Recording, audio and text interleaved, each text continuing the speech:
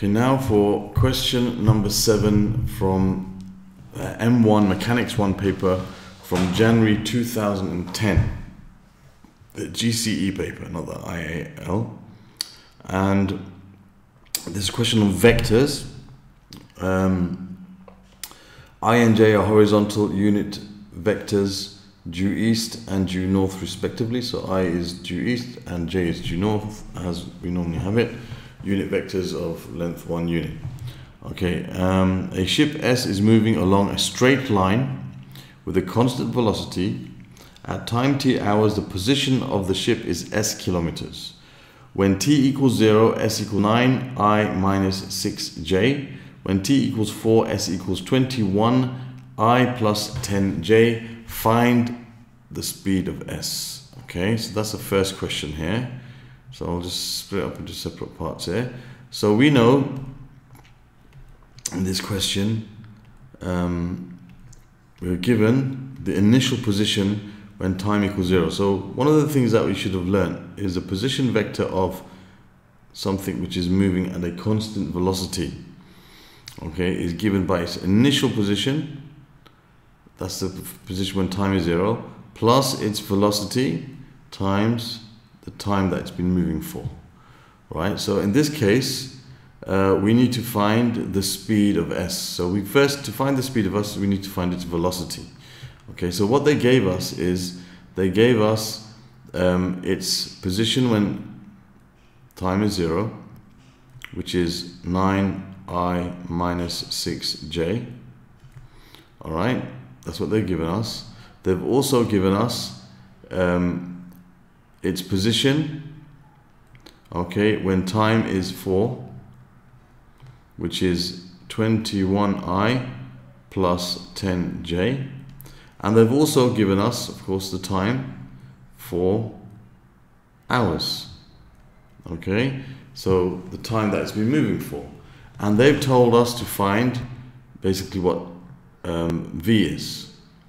Okay, so in this case, we know that S, okay, um, Okay, so we know now that we can say that its position at 4 is 21 i plus 10j. Okay, I'm just writing as a column vector.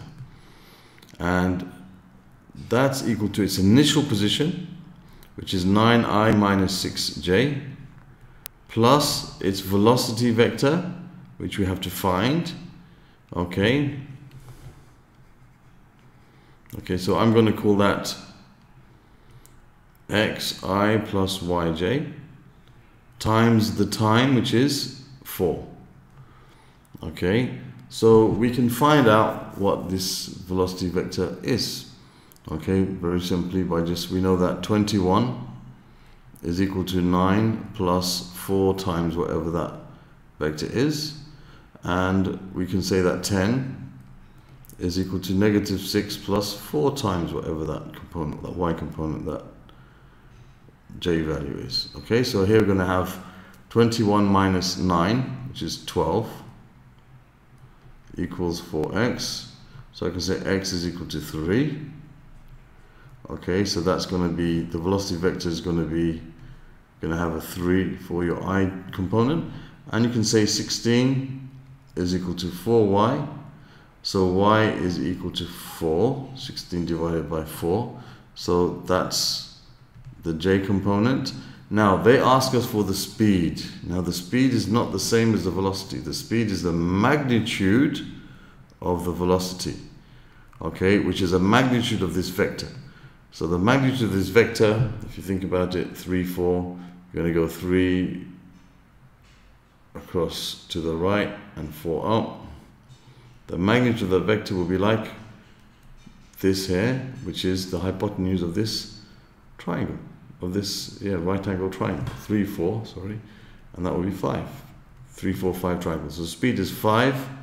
Now this is in kilometers per hour because this distance is in kilometers and the time is in hours.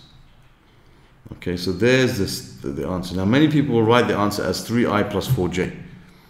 However, um, you know, this is asking for the speed, not for the velocity. So You'll lose a mark if you leave it as 3, 4. You must find the magnitude of the speed, okay, which is the uh, which is oh, sorry the magnitude of the velocity, which is the speed.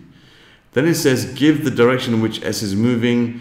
Um, the direction in which s is moving, giving you answers a bearing. Okay, so we just kind of made a little diagram, but I'll do it again. You know that if this is it's, it's moving in this direction, it's going for every three. That we know that the velocity is three four. So that means for every three across to the right, it's going four up. This is horizontal, this is vertical. So one, two, three, four. So you can make a little diagram.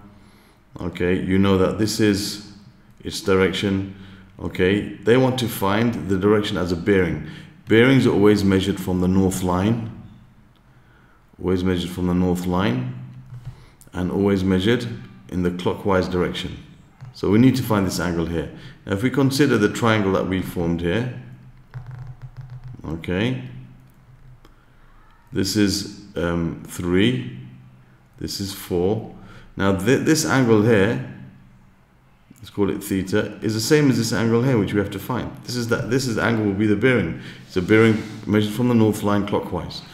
Okay, so we can see that this angle, if I find it, is what I need. So we can say the tangent, because this is the opposite, this is the adjacent.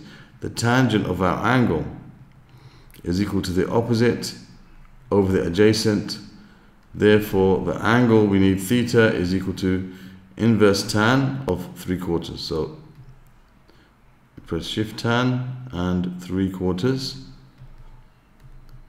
Close the bracket. We have 36.869, 36.869, and it continues on and on. Okay. So, oops, let me just clear that. that's a bit messy. Okay, so we have 36.869. So therefore the bearing, okay, should always be given to the nearest degree.